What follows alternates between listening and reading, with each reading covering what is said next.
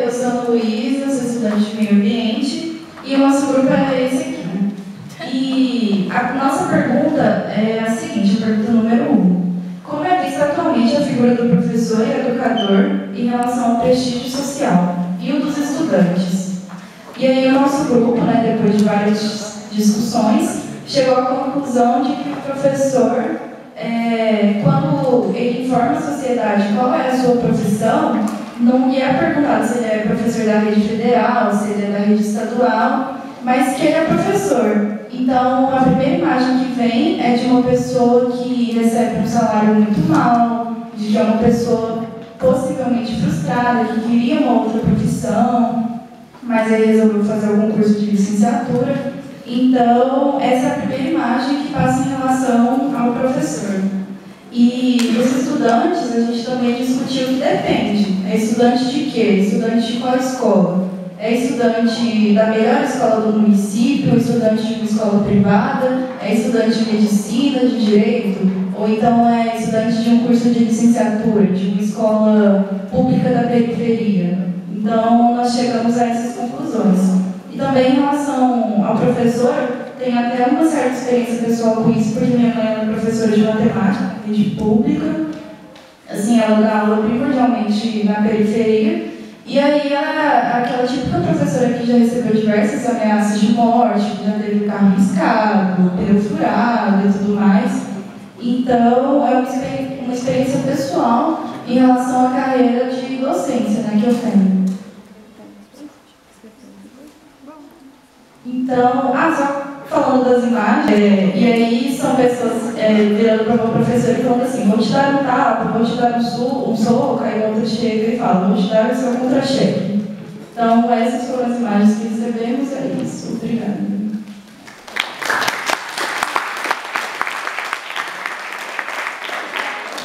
Karine, a gente é o grupo 2 e a nossa pergunta é: que fatores, causas materiais determinam professor tem uma representação, imagem, social adequada na atualidade. Aí pede para citar no mínimo dois exemplos e para comentá-los. A gente acredita que o primeiro motivo para o professor ter essa representação é a questão política relacionada às ideologias no momento, porque está bem dividido entre direita e esquerda e muitas pessoas extremistas é, vê o professor como inimigo porque não entende que a função dele é mostrar os dois caminhos, mostrar todas as opções e fica a critério do aluno, junto com a educação dele dentro de casa, qual que ele deve seguir. Então, quando o professor mostra um ponto de vista ou passa uma matéria que não corresponde com a ideologia que o aluno tem dentro de casa, que os pais acreditam que seja a correta, o professor ou qualquer profissional da área da educação ele é visto como inimigo e a gente acredita que o segundo motivo também esteja relacionado um pouco com os alunos, quando ocorre uma interpretação errada do que o docente quer passar para o aluno. Às vezes ele quer, tem a intenção de ajudar, mas a forma como ele faz isso, a forma como ele fala, é, agri, o, faz com que o aluno se sinta agredido e a gente sabe que tem casos que chegam a, a ser muito extremos e causam violência, que é o que a gente mostra na nossa imagem, que é um olho roxo, que a gente que seja de uma professora que tenha sido agredida, e os motivos a gente, é esse que eu citei, que a gente acredita que seja muito relacionado com isso. É isso. Obrigada. É, bom dia, meu nome é Cristina, sou do primeiro dia de meio ambiente. E a nossa pergunta é: que fatores psicológicos e sociais, preconceitos dos professores, visão inadequada sobre a docência, que tornam a imagem dos professores e profissionais da educação negativos atualmente? Essa é uma pergunta meio que a gente pode debater muito e a gente chegou a um consenso. É, a gente citou cinco fatos. O primeiro é que o governo rebaixa muito a, o cargo de professor, sendo que é um cargo tão importante quanto os outros tem um salário baixo e tal. E o segundo é que os alunos tentam ser superiores aos professores e não respeitam o que eles pedem, não respeitam os pedidos deles, isso acaba gerando violência também. O desinteresse dos alunos, que muitos professores tentam combater, porque se você está numa sala de aula, você está para assistir, e tem muitos alunos que infelizmente vão para a escola para fazer nada, né? E quando os professores pedem silêncio, quando os professores pedem atenção, eles não estão ali para impor, não estão ali para te fazer mal, eles querem a sua atenção porque é um bem para você. E também que às vezes esquecemos que os professores também são humanos. Têm seus problemas e algumas pessoas podem descontar seu estresse nos professores.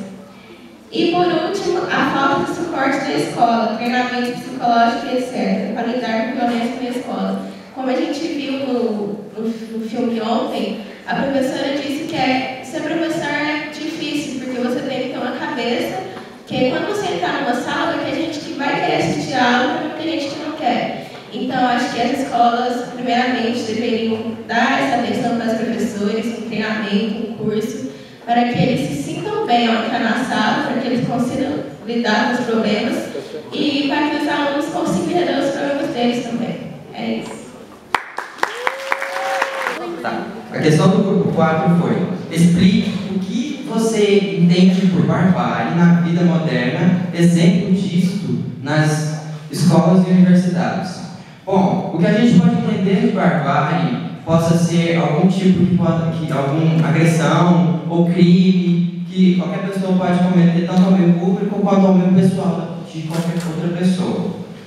Correlacionando isso com universidade e escola, ligando com a imagem e as duas imagens que a gente recebeu, eu posso julgar, eu posso entender que é, qualquer tipo de agressão física, moral, verbal, sofrida por professores, alunos ou qualquer pessoa da, de, que, do, que estuda na escola ou universidade. Isso, citando professores, barbáries, sofrendo, sendo agredidos de, de, de tais maneiras por, pelos alunos e, e os alunos achando que professores são inimigos diários, digamos assim. E aí dá para correlacionar, dá para entender que barbárie também possa ser bullying, ligando com a imagem que a gente ganhou sobre o bullying, e, e dando a entender que barbárie também é, é bullying, é agressão que os alunos sofrem, é agressão que qualquer pessoa sofre, ou qualquer crime cometido por qualquer pessoa.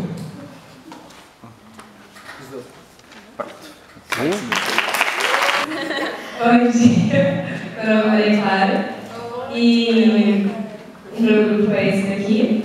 O trecho que a gente recebeu diz o seguinte: os atuais modos de representar imagens inadequadas e preconceitos sobre os professores, na atualidade têm terminado uma crise de autoridade docente, contribuindo para os problemas na esfera da vida cotidiana das escolas e universidades. Os problemas das escolas são caracterizados pelas agressões físicas educadores, bullying, cyberbullying, problemas comportamentais de estudantes, etc. O meu grupo debateu um tema que é, está aqui no meio, que é a, a crise da autoridade docente, que ela, caracterizada pelo corpo docente não ter mais aquela autoridade de pedir um silêncio na turma, de não, ter, não pedir mais respeito pela turma.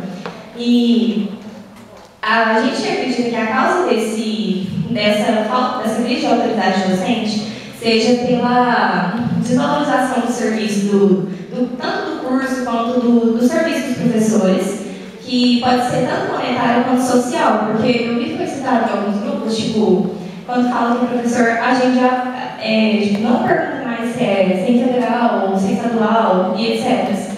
É, já, pensa, já tem uma imagem de um professor que não, que não é valorizado monetariamente, uma pessoa que recebe salário muito baixo. E muitas vezes, é, como é, é desvalorizado monetariamente e socialmente, o, tem uma procura muito pequena nas universidades para esses cursos. Então, por exemplo, muitos alunos, no caso, alunos desses cursos, não terminam o curso, ou quando terminam, mesmo quando passam, nem sempre eles querem estar naquele curso. Às vezes, por exemplo, o aluno quer ser um engenheiro e ele não passa para aquele curso e ele se torna, sei lá, um, um professor de matemática. Mas não é aquilo que ele queria fazer. Então, às vezes, ele não tem a qualidade de serviço que ele é, poderia é, oferecer se ele, queria, se ele quisesse estar, estar ali. Tipo, isso é uma forma da desvalorização, porque, por exemplo, também foi citado que os é, alunos não têm. É, alguns alunos não têm muito respeito devido a sua história, aquilo que ele passava, aquilo onde ele vive, é, pelo que ele passou na vida dele. É, eu sou a Natália, também do terceiro E, e eu sou mesmo grupo. E essa questão de experiência, é, o que seria um aluno ruim? Não seria um aluno que tirou uma nota ruim no Enem.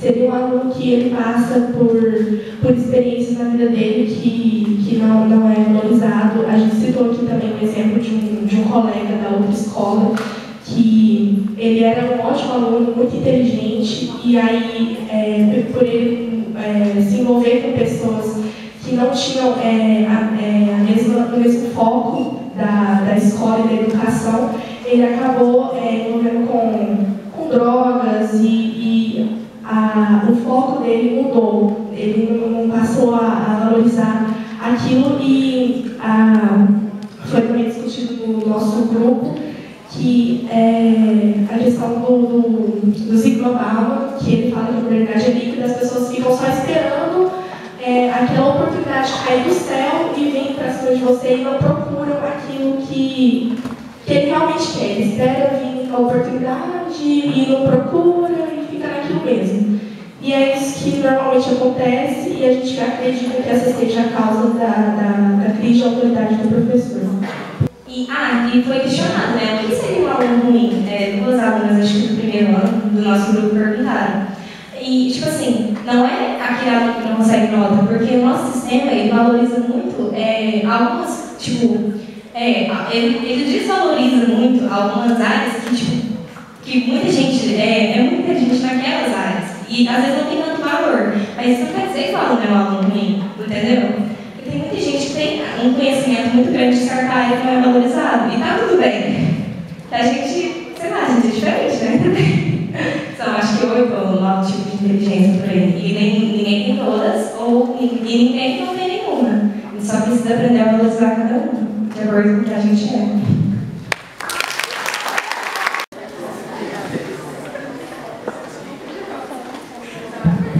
Oi. É, meu grupo é o 6, eu vou ler a questão. Comentem e discutam o parágrafo abaixo. O contexto econômico, social, cultural e político atual contribui para a crise da autoridade dos professores, educadores e para dificuldades escolares, como a indisciplina, a violência entre estudantes e contra os educadores e demais servidores das escolas. Vocês concordam com essa afirmação? Justifiquem. É, nós, o grupo, a gente concordou com a afirmação porque, querendo ou não, é, esse, é, o contexto onde a pessoa vive é o que faz é, ela fazer as coisas que ela faz. E eu vou puxar é, olhando a charge, que foi uma das imagens que a gente entregou, que apresenta provavelmente um aluno reclamando com a professora, o pai do aluno e é, o contratante do professor. O aluno ele está ameaçando dar um tapa na professora. Então isso revela que tipo é, o contexto do aluno provavelmente é que se a professora quiser brigar com ele, falar alguma coisa com ele, como todos os colegas dele não vai achar estranho, então vai ser brigar com a professora e a professora vai ter que aceitar. Isso tem a ver muito com a, o, se, essa escola onde ele vive, principalmente as escolas de periferia, acontecem isso, que a gente tem conhecimento. E aí entra o papel do pai, porque muitas vezes o pai fala assim, ah, não, mas a professora que estava errada, meu filho não fez nada.